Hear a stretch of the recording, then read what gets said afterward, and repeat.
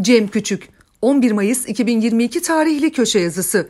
Sayın ekonomi yetkilileri, dolar daha fazla çıkmasın. Yüksek enflasyon ve hayat pahalılığının çeşitli sebepleri var. Bunları çok tartıştık burada. Elbette pandeminin de büyük etkisi var. Rusya'nın Ukrayna'yı işgali de yüksek enflasyona az da olsa tesir etti.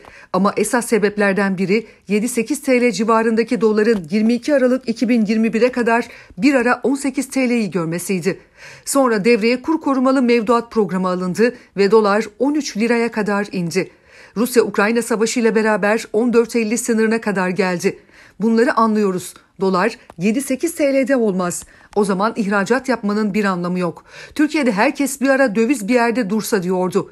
4 aydır duruyor döviz. Ancak birkaç gündür önce 15 sınırını geçti ve hatta 15.25 oldu.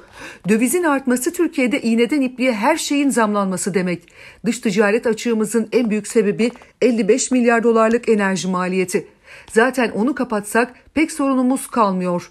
Döviz yeniden artarsa benzin, elektrik, doğalgaz yeniden zamlanacak demek. Bankalar Birliği Başkanı Alparslan Çakar kur korumalı mevduatla ilgili rakamları paylaştı. Ondan aktarıyorum.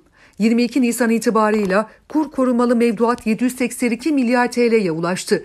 Kur korumalı mevduata baktığında bireylerde 8 milyar dolar, tüzelde 11 milyar dolarlık bir yabancı paranın TL'ye geçtiğini görüyoruz. Bizim bilançolarımızın pasifinde mevduat ve öz kaynaklarımız var. Bizim mevduatın yapısında yabancı para çok ciddi anlamda artmıştı. Kur korumalı mevduatla TL dikidimiz arttı. Merkez Bankası'yla swap yapıyorduk. Bunun bir maliyeti vardı. Kur korumalı mevduatla likidimiz oldu. Merkez Bankası net rezervinin kur korumalı mevduatla 9 milyar dolar arttığını görüyoruz. Alparslan Bey kurun yukarı doğru hareketine de değindi. Özellikle kur korumalı mevduat gibi enstrümanlar dolayısıyla kurda çok yukarı hareket beklemiyorum. Bu seviyelerde hareket edeceğini düşünüyorum dedi. Cumhurbaşkanı Erdoğan'ın konutlarla ilgili açıkladığı ikinci pakette döviz ve altınla alakalı.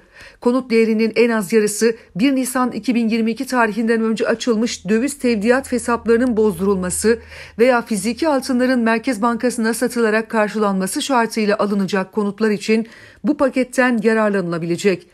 Konut değeri 2 milyon lirayla sınırlı bu paket 10 yıla kadar vadeli ve aylık %0.89 faizli konut kredisi içeriyor. Erdoğan bu paketin bir amacını da döviz ve altın varlıklarının Türk lirasına dönüşümünü teşvik etmek olarak açıkladı. Eğer bu ikinci pakete ilgi olursa döviz biraz daha geriler.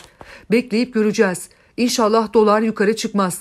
Çıkarsa her şey zamlanacağı için millet perişan olur. Ne yapıp edip dövizi stabil bir çizgide tutmak lazım. Yoksa halka da bir şey anlatılmaz artık.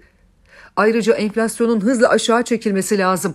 Yani milletin bir rahatlama hissetmesi gerekiyor. Enflasyon artmaya devam ederse milletin alım gücü iyice düşer. İlkbaharda rahatlama dendi, yaz oldu. Sonbahar derken kış gelir. Derken tekrar ilkbahar ve sandık milletin önüne gelir. Hükümet açısından Allah'tan altı ayrı sesin çıktığı ve kendini imha etmekte mahir muhalefet var.'' Kale boş ama muhalefette gol atacak adam yok. Baştan aşağı yeteneksizlik abidesiler. Tek fotoyla kendini bitiren bile var.